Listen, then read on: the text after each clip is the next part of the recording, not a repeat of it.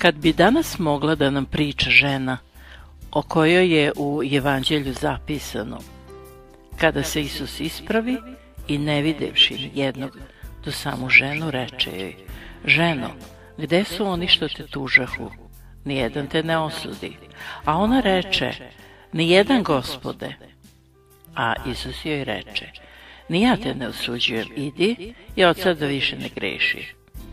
Ovi stihovi se nalaze u Evanđelju po Jovanu, 8. glava 10. i 11. stih. Dakle, kad bi mogla danas ova žena da nam priča, možda bismo čuli. Imala sam samo 16 godina. Njemu je bilo 25. Gledala sam čitav svet u njemu. Govorio je da me voli i ja sam mu bezgranično verovala. Ali to nije dugo trajalo. Ne želim više nikada da te vidim, rekao mi je grubo. Nikada više nemoj ni da razgovaraš sa mnom. Kad se sretnemo na ulici, nemoj mi prilaziti, više te ne poznajem. Dugo sam stajala nesposobno da se pokrenem. Nisam više imala ni prošlost, ni sadašnjost, ni budućnost. Bila sam mrtva, ubijena ljubavlju. Neka, rekla sam, osvetit ću se ja ljubavi. Važno je da dobijem ono što želim. I moj život u narednih 15 godina seo se na dve reči. Voleti i mrzeti. Zatim, jednog dana, promena. Iznenada su se otvorila vrata, čovjek je utrčao u moju sobu i izvukao me napolje. Pojurio je ulicom vukući me grubo za sobom. Vidjela sam samo ruke i stisnute pesnice, oči pune prezira. Sve me bolelo. Snažan udarac bacio me u prašinu. Ležala sam tako nepokretna i iscrpljena, gotovo mrtva. Gledajući kamenje u stisnutim pesnicama, zavapila sam. O Bože, gde je ljubav? Tada sam začula glas koji me upitao. Ženo, gde su oni koji su te tužili?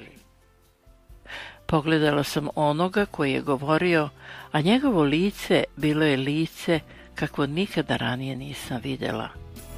Ne znam, gospode, šta se dogodilo?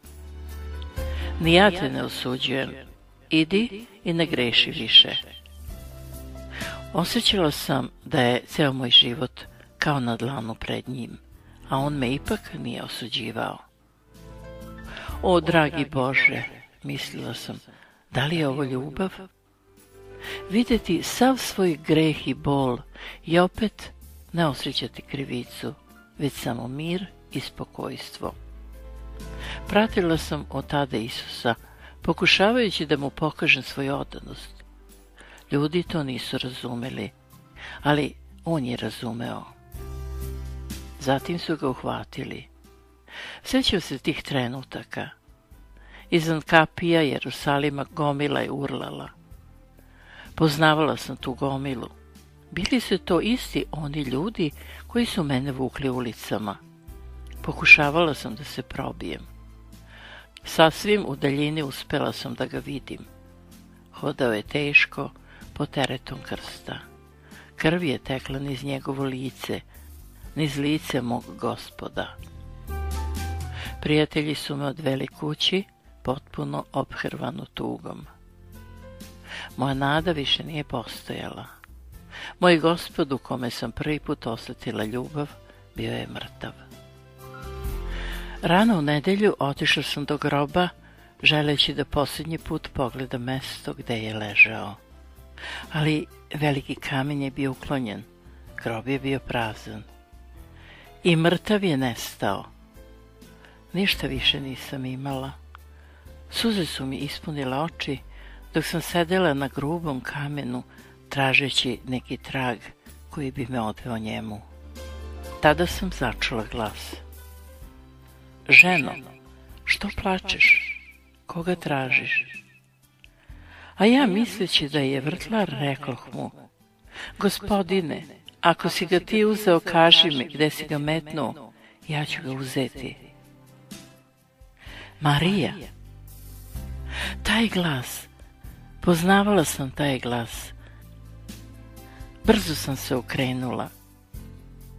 Moj gospod, a Isus mi reče, ne dohvataj se do mene, jer se još ne vratih kao ocu svojemu, nego idi k braći mojoj i kaži im, vraćam se ocu svom i ocu vašemu, i Bogu svojemu i Bogu vašemu. Tada sam sa radošću potrčala da javim učenicima, ljubav živi.